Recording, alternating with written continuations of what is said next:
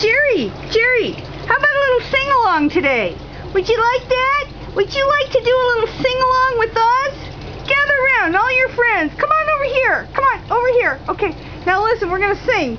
We're going to go something like, um, Hey, it's a sunny day down here in the um, Aquarium Valley, and I'm just singing my song because my name is not Sally. I don't know, but I don't know. You you can come up with something. I think it's a great idea. You guys all get together, kind of talk about it. You know, toss out a few ideas, and and I'll be back.